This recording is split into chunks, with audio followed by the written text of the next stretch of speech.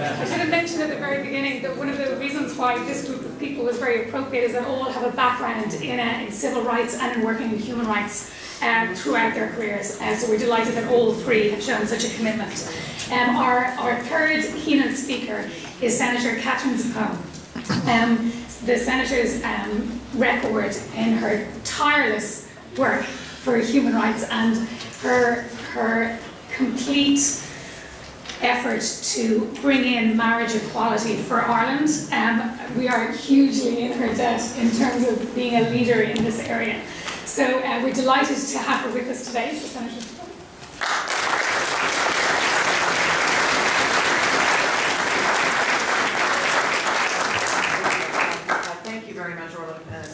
just a great pleasure to be here uh, this morning and to share um, uh, this time uh, with the minister and, and also Michael. And again, congratulations for to, to uh, TENI Transgender Europe uh, for gathering us all together here. It's a hugely historic moment. And it's always a privilege for me to also follow my um, to follow my colleague and great friend uh, Michael, uh, and I think we uh, take to heart uh, all that he has done to lay out the issues uh, seen here in Ireland. I also must say that, and I rec recognize uh, and acknowledge with him, it's important to have this democratic dialogue and for people to register their concerns in terms of the issues that the minister has raised. But I must say that I did take heart uh, myself from the words uh, of the minister. I'm going to be offering some strong words in a moment in terms of where we are, but I did take heart from your words, Minister, um, I suppose especially because you began with, it is about identity. And I do believe, I, from the way she described it, she does have a sense of the importance of people being able to be who they are. And I also want to acknowledge when you said too, the responsibility of lawmakers, and that's largely what I'm going to be speaking about. It is our responsibility. And finally, your acknowledgement too of how, um, how much uh, the country wants to embrace and move on with change. So. so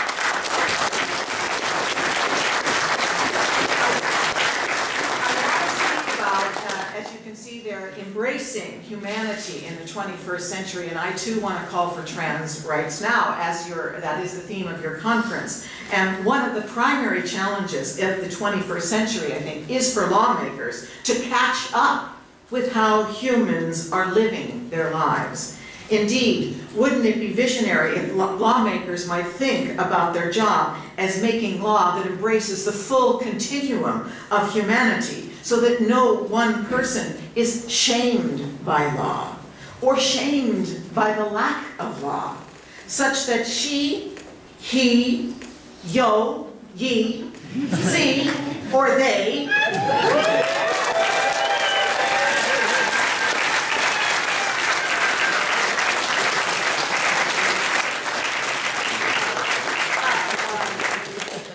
hide from who they are or from, as, as I was said, as I was told by a young uh, tra a trans boy, Danny, who met with me in, in Leinster House uh, recently with some other colleagues, to hide from who they are or the inside of me, the core of me. Now, of course, many trans people are not ashamed. Many trans people have moved through fear. You, you are so many of those among us that, that move through fear and to take that frightening, oftentimes dangerous journey of simply becoming who you are. And as Margaret Wheatley, a great leader for progressive change, has said, fear is fundamental to being human, so we can expect that we'll feel afraid at times, perhaps even frequently. But what is important to notice is what we do with our fear.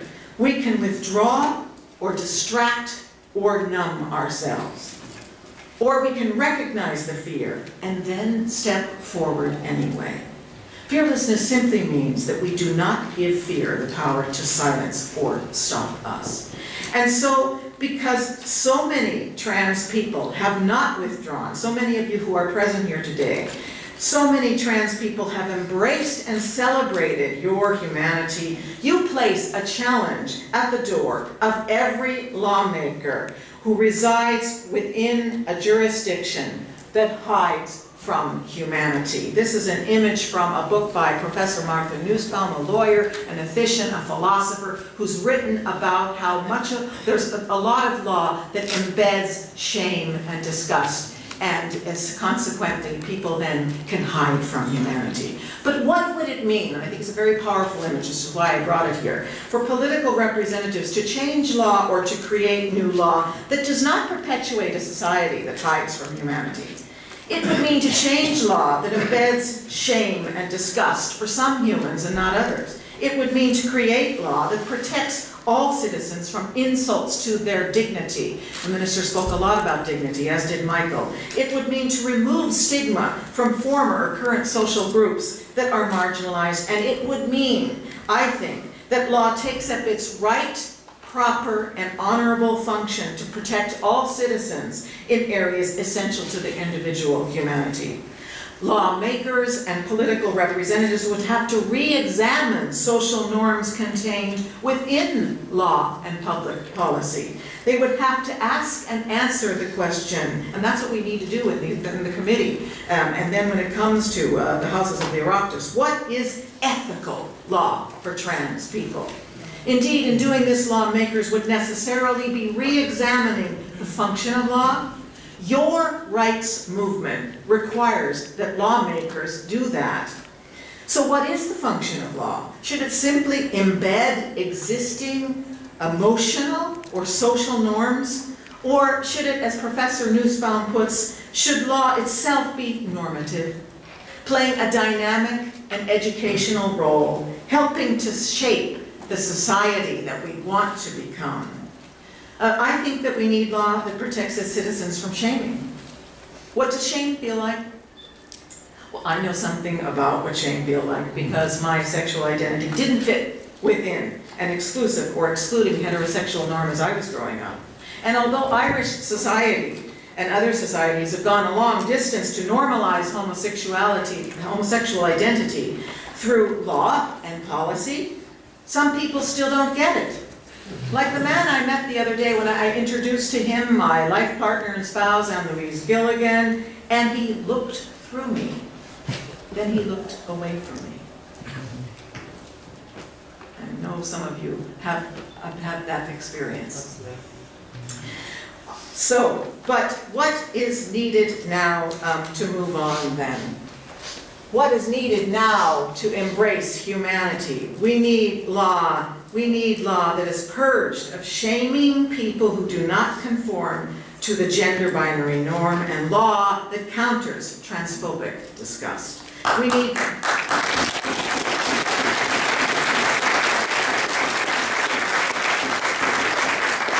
law that supports human freedom and space for human creativity and we need law, and this, this type of law will necessarily then, I think, support the creation of decent material conditions of life for all. So we, I'm going to keep going. We need to embrace humanity. In terms of embracing humanity, what the first point I'm going to be making here is that we need your advocacy. We need trans advocacy. We need you as leaders. And I have two beautiful photographs of Dr. Lydia Foy and also Ms. Louise Hannon, who's also taken a case here in relation to Ireland.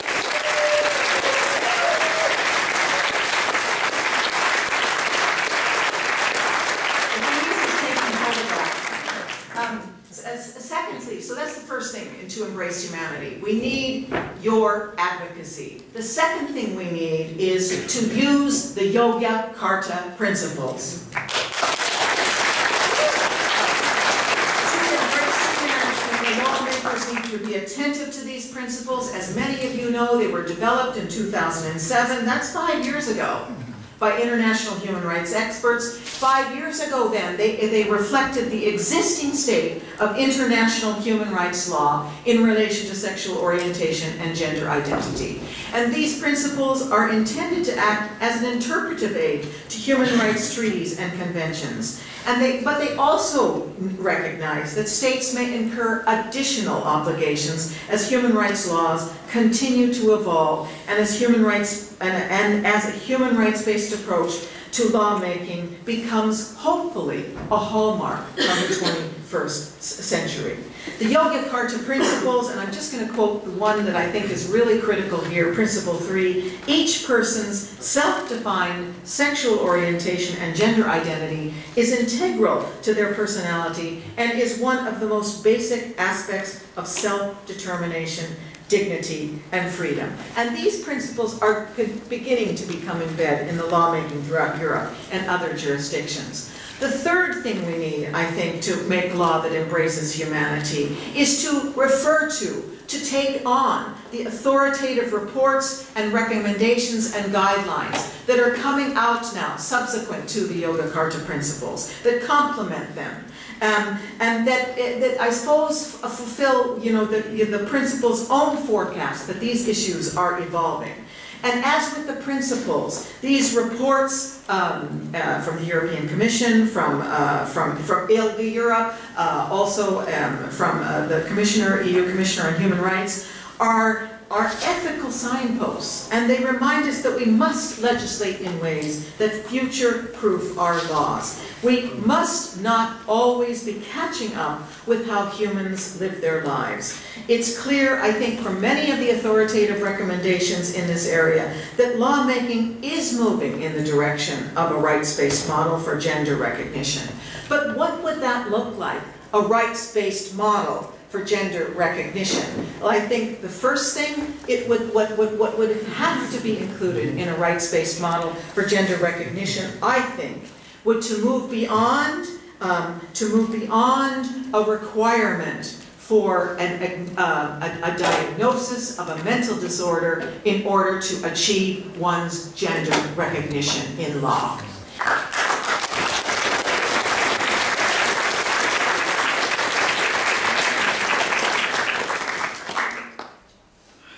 this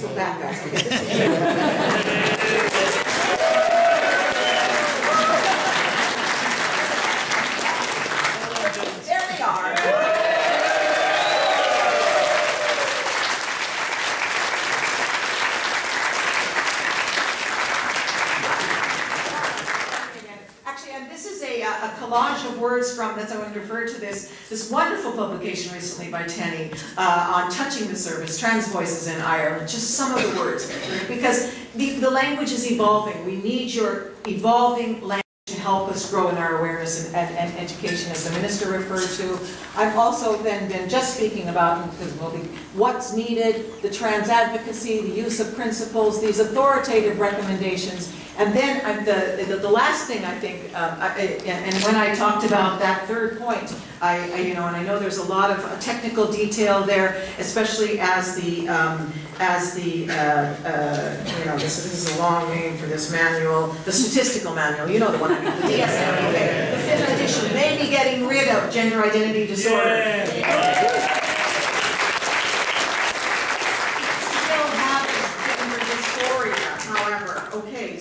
Um, at the same time, we need to, and just to conclude that, we, the questions we need to raise in relation to that is should law, should law demand that individuals fulfill the medical requirements of that body that puts out that manual, which is the American Psychiatric Association, should law demand that, should law demand that individuals fulfill medical requirements of the body in order to gain access uh, to basic legal rights? Should access to legal rights be dependent on these debated uh, terms, GID, gender dysphoria? I think we need to raise these kinds of questions if we're legislating in line with a human rights-based approach, and I suggest that access to legal rights, as I've said then, does, should not be dependent on achieving a diagnosis of mental illness, nor should it be dependent on undergoing medical treatments that are not desired by individuals. Such requirements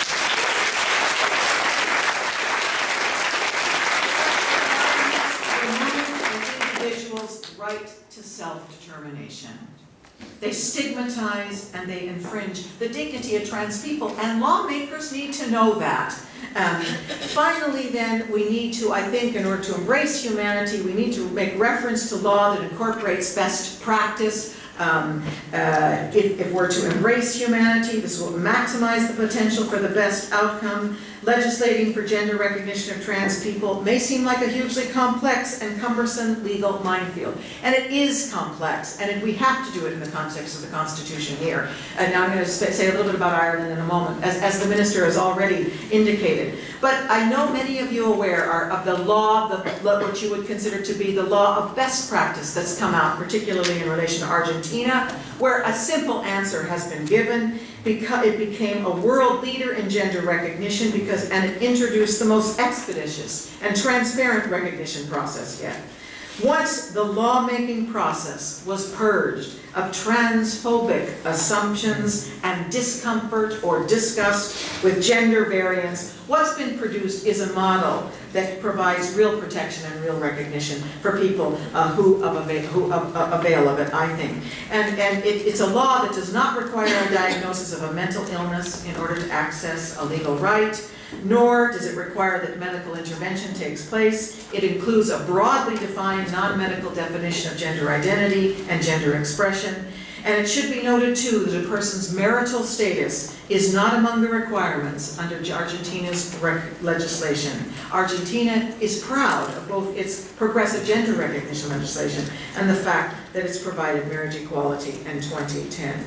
So what, just to conclude then, how will we, and we're all three of us are, are taking a look at this issue of how will we embrace humanity here in Ireland, and I just have a few more words, but as I'm speaking those words, I want to put before you some of our people here, our leaders, our people who come out.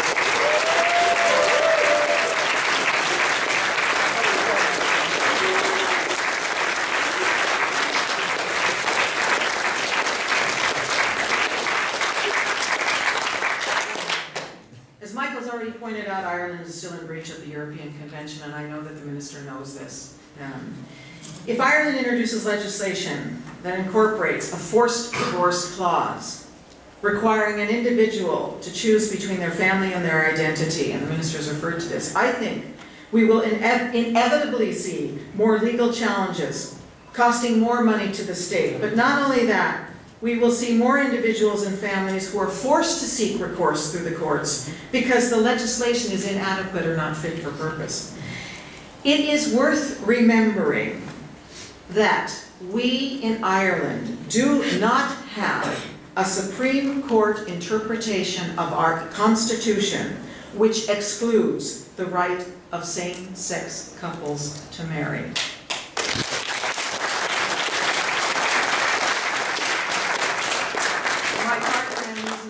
Uh, Gilligan and I are seeking that. We do not have an authoritative Supreme Court interpretation of our Constitution that says that same-sex couples are excluded from marriage. So that's important to put out there.